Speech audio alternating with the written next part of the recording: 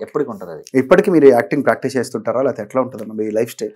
అసలు acting practice అంటే ఇప్పుడు మనం ఏదైనా ఫిలిం చూసినా ఏదైనా బయట క్యారెక్టర్ని అబ్జర్వ్ చేసినా అది కొంచెం ఏదైనా ఒక పిక్యులర్ కనిపించినప్పుడు ఇది భలే ఉంది కదా అని ఎక్కడైనా యూజ్ చేసుకోవడానికి అలా అబ్జర్వేషన్. అబ్జర్వేషన్. Main observation. అలా రెగ్యులర్ అబ్జర్వేషన్. ఇప్పుడు నువ్వు మాట్లాడుతున్నావు నువ్వు హ్యాండ్స్ ఇలా అంటున్నావు ఇది ఒక అబ్జర్వేషన్. అంటే బేసిక్ చెప్తున్నా బ్రో. ఎవరన్నా ఒక్కొక్కరు ఒక్కొక్కటి. అలా. అది మనం కీప్ ఆన్ ఇదే అబ్జర్వ్ చేశాను అనమాట అంతే కదా.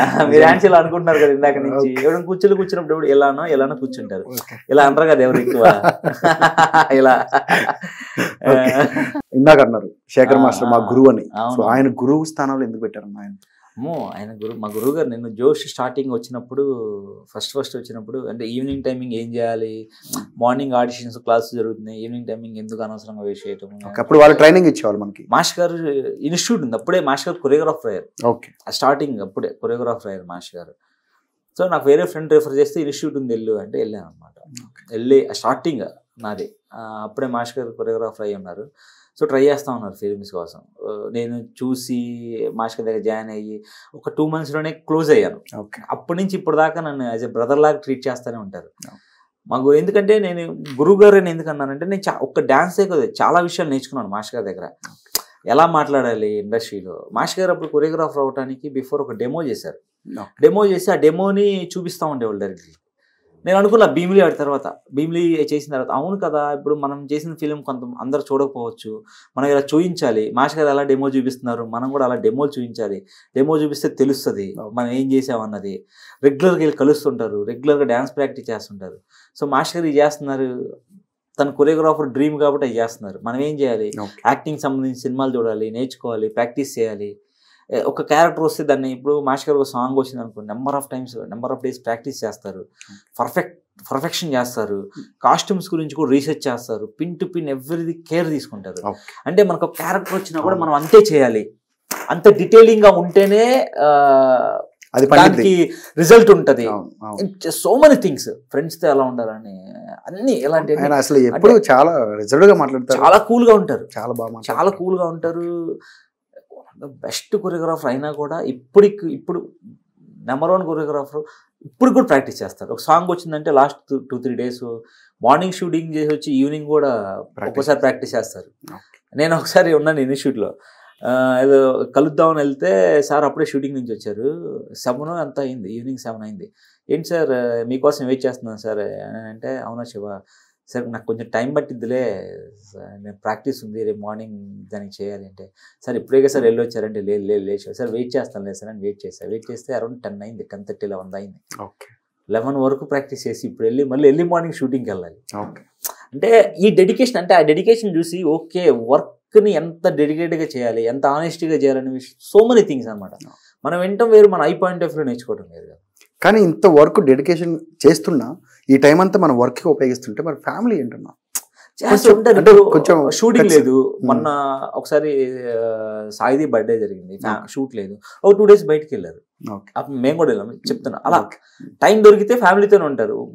నేను ఎప్పుడు మండే ఎప్పుడు ఫ్రీ అనుకుంటా. మార్నింగ్ నుంచి ఈవినింగ్ అంతే ఇంట్లోనే. ఓకే. టైం ఉంటే ఫుల్ టైం ఫ్యామిలీకి స్పెండ్ చేస్తారు. వర్క్ ఉందా? ఇంకా నో ఓన్లీ వర్క్ అంతే. అంతే ఫిక్స్ అయిపోతారు మైండ్ అలా.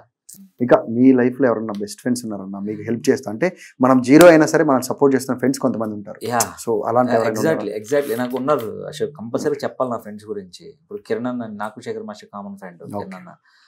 తను కూడా ఎప్పుడు అదే అంటాడు అరే నేను ఉన్నారా? సింపుల్గా ఏం కాదు నువ్వు ట్రై చేయ. మా ప్రభాకర్ అన్న కృష్ణారెడ్డి అన్న కృష్ణ అన్న నా ఫ్రెండ్ కృష్ణ నాకు జిమ్నాస్టిక్స్ నేర్పించే రాము మాస్టర్ నా ఫ్రెండ్ నరేంద్ర అంటే సిక్స్ సెవెన్ మెంబర్స్ ఉన్నాం.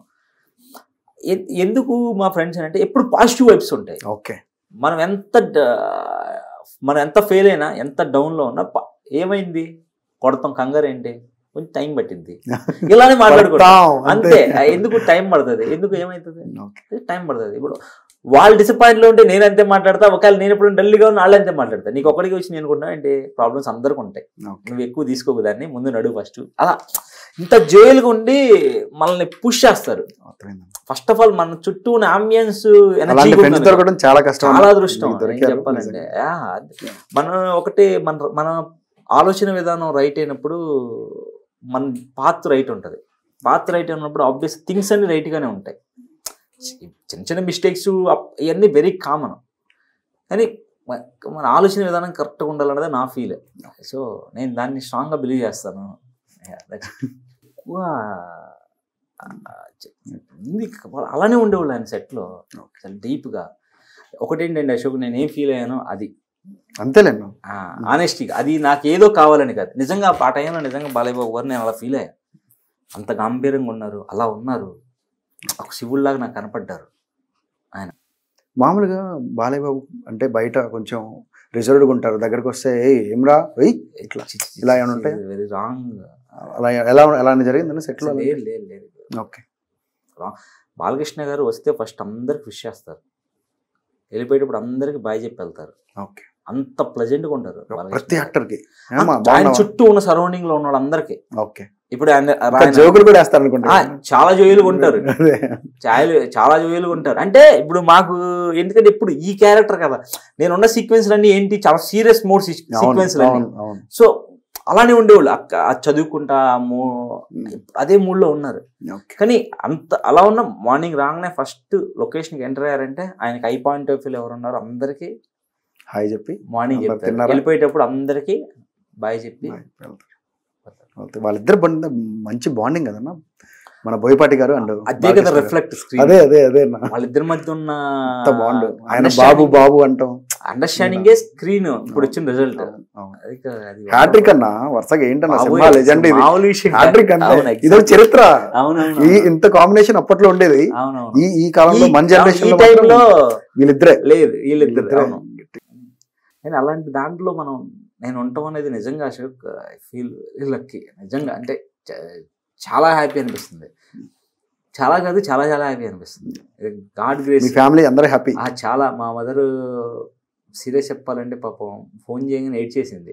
సినిమా చూసి. చాలేరా నువ్వు ఇన్న ఎన్నాళ్ళు పడిన స్ట్రగుల్కి ఓకే నీకు ఇచ్చారు. మా అమ్మగారు కూడా పట్టుగా చెప్పారు బోయపాటి సీన్ గారికి థ్యాంక్స్ చెప్పు మా తరపున కూడా. ఓకే.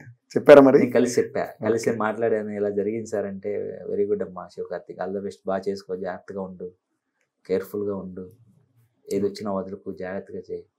డెడికేటెడ్గా ఉండు. చాలా అంటే బోయపాటి సీన్ గారు చాలా మనకి చాలా దగ్గరగా అనిపిస్తారు. దగ్గరగా తీసుకుంటారు. చాలా ప్రేమగా అనిపిస్తుంటది ఆయనతో మాట్లాడుతుంటే. చాలా రిలేషన్ కమర్షియల్ ఉంటదన్న ఆయనంతా అవును. మంచిగా. అంటే చాలా- మంచి సినిమాలు తీస్తారు ఆయన. అంటే రిలేషన్స్ అన్ని రిలే అన్ని ఉంటాయి నా ఒక. మంచి కమర్షియల్ కథ ఉంటది ఒక మంచి. ఫ్యామిలీ ఉంటది ఒక లవ్ ఉంటది కామెడీ ఉంటది. అన్ని ఒక మంచి ఎలివేషన్ ఉంటది పర్ఫెక్ట్ ప్యాకేజ్ బోయపాటి గారి. సినిమా అంటే. నిజంగా థ్యాంక్ యూ అన్న thank you so much thank you Ashok thank you so. Much మీకు ఆర్టీవీ వాళ్ళకి. నన్ను పిలిచి ఇక్కడ అంటే మేము సినిమా చేసినా సరే ఇంకా ఆడియన్కి రీచ్ అవ్వడానికి ఇది వండర్ఫుల్ ప్లాట్ఫామ్ మా అందరికి. సో మా లాంటి వాళ్ళందరికీ అవకాశం ఇచ్చినందుకు thank you. First of all audience కండి చాలా చాలా థ్యాంక్స్ అండి మీ అందరికీ. సినిమాని ఎంత పెద్ద హిట్ చేసినందుకు చాలా చాలా థ్యాంక్స్ అలానే నాకు ఈ అవకాశం ఇచ్చినందుకు బోయపాటి సీన్ గారికి రవన్నకి టీమ్కి ద్వారకా క్రియేషన్స్కి. జై బాలయ్య. జై Balayya. Thank you thank you so much అదండి శివకార్తికేయన్ అయితే చిన్న చిట్ చాట్. టీవీలో కానీ మీకు నచ్చినట్లయితే లైక్ చేయండి షేర్ చేయండి కామెంట్ చేయండి. Bye bye. నేనండి మీ బాబు మోహన్ని. ఆ, వాకే వాకే వాకే.